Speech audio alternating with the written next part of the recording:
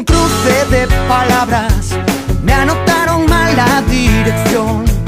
Ya grabé mi nombre en una bala, ya probé la